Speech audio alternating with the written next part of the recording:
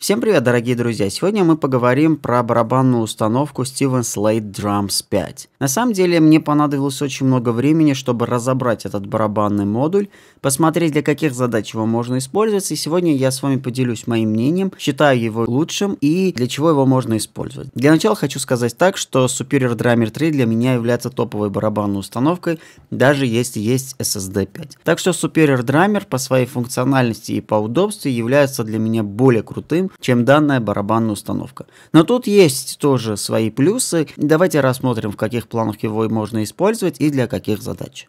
В данный момент существует акция, я не знаю, сколько это может длиться, но за 100 долларов можно купить всю барабанную комплектацию, а также для тех ребят, которые хотят потестить, на сайте официально Steven Slade Drums есть Steven Slade Drums Free версия, бесплатная версия. Здесь предлагается вам два Deluxe кита, бесплатных, просто неограниченное количество времени. Вы можете их скачать, использовать в своих проектах и посмотреть, как все это звучит. А мы перейдем уже к разбору данной барабанной модели. На самом деле немного изменилось по интерфейсу. Интерфейс таким, как был в четвертой версии, так и выглядит в пятой версии. Хочется подчеркивать то, что на самом деле я бы хотел здесь видеть более мануальный интерфейс, например, встроенные плагины, обработка для бочки, снэра и так далее, но этого не произошло, это обычный сэмплер.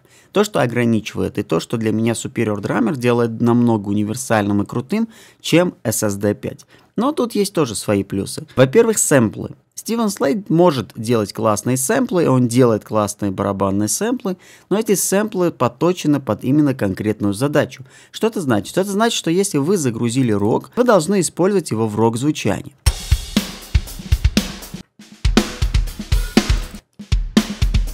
Здесь выбирается тип пресетов, Классические пресеты, Deluxe первая коллекция, Deluxe вторая коллекция. Они специально для SSD 5 записывали новые звуки. Потом здесь располагается блок инструментов. То есть мы загрузили какой-то кит, например, вот All American, да? И нам не нравится снэр. Мы заходим в инструменты, мы заходим в блок снэров, слушаем наши снэры. То есть здесь можно взять и просто заменить э, снэр, который нам нравится. Ну, например, вот так. Либо, например, нам не нравятся высокочастотные хай-хеты, которые в нашем треке используются. Заменяем хай-хеты.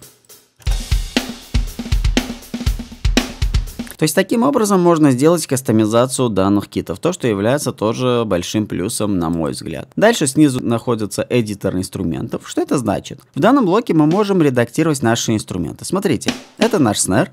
Снэр располагается из двух слоев. Первый слой это сухой микрофонный звук, второй слой это рум. Его можно сделать потише, погромче, а также можно его вообще отключить. Здесь располагаются органы управления громкостью, здесь можно заниматься тюнингом, вращение фазы. Э, здесь можно различными уровнями настраивать другие артикуляции, поправить динамику, чувствительность. Существует встроенный ADSR, с помощью которого можно управлять атакой, decay ем и sustain ом. Следующий блок у нас блок микшера, где предлагается уже многоканальный микшер. Кстати, микшер можно в multi-output ном режиме программировать. Для этого нужно открыть multi-output инструмент и просто каждый выход музыкального инструмента, например, бочку отправить на первый выход, snare отправить на второй выход, третий, четвертый. Таким образом у вас будет индивидуальный подход к каждому инструменту и каждые выходы будут у вас отдельно выходить. Следующий блок это блок маппинга. Что такое маппинг? Маппинг это специальный блок, где располагается MIDI-кодировка самих сэмплов. Например, нота до это бочка. Но существуют барабанные триггеры и прочие элементы, в которых нота до, например, является не бочкой, а, например, является, например, снером и так далее. Ну, представим, да? Для таких задач существует изменение маппинга, либо загрузка своих маппингов. Нажимая на эту кнопку, мы видим какие-то готовые решения. Например, для Алесиса, BFD драмера, Easy драмера, То есть по раскладу здесь можно сделать так, как в Superior драмере. И так далее. Дальше двигаемся. Следующий блок это MIDI-грувы. MIDI-грувы это самая интересная часть. Здесь взяли просто барабанщика, подключили триггер, барабанщик сыграл, и все эти MIDI-партии без определенного квантайза использовали уже в проекте. Вы выбираете нужный грув, нажимаете play. Например, вам нравится этот грув. Берете, перетаскиваете в проект, добавляете сюда, и, в принципе, вы имеете уже готовую сыгранную партию от самого барабанщика. Эти партии от ваших партий отличаются тем, что они не четко сквантированы, и, соответственно, вы можете получить некий такой свинг барабанной игры. Как вы видите, он чуть-чуть по сетке отстает. И квантировать не, нельзя, потому что это некий живой характер звучания. То есть нельзя вот выделить все и нажать на кнопку Quantize. Нужно оставить его в таком порядке, чтобы эффект живости сохранился в этих MIDI-партиях. Существует джаз library, поп library, R&B, рок, сол и так далее. Каждый имеет свои субкатегории. И так как здесь еще это MIDI, то можно их настраивать под любой темп. Здесь можно активировать автовоспроизведение, play, stop, можно создать петлю, сделать темп два раза медленнее. Например, у нас вот такой грув. Вот. Можем замедлить два раза. Либо сделать два раза быстрее. И в конце находится у нас блок сеттингсов, настройки, где можно уже заходить в настройки самого прибора.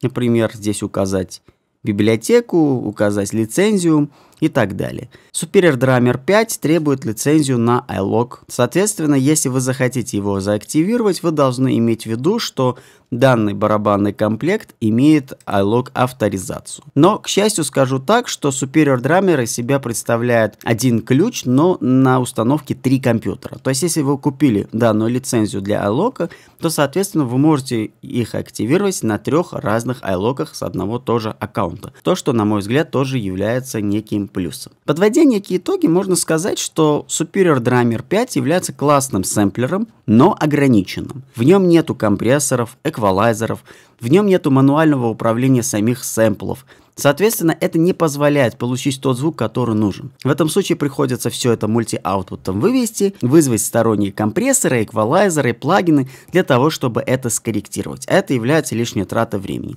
Например, в случае Super Drummer 3, когда у нас был стрим, я показывал, что там существуют встроенные эффекты обработки, начиная с сатураторов, заканчивая ревербераторами, которые позволяют уже в начинке самого плагина получить офигенный звук. Ну что ж, друзья, на этом все. Не забываем подписываться на наш канал наш Инстаграм, в котором у меня очень часто выходят промо-ролики, где я делаю время от времени короткие лайвстримы, рассказываю про новинки, все, что у меня происходит бэкстейджем, вы можете увидеть здесь. А мы в скором времени увидимся и поговорим про новые темы. Всем пока-пока, друзья.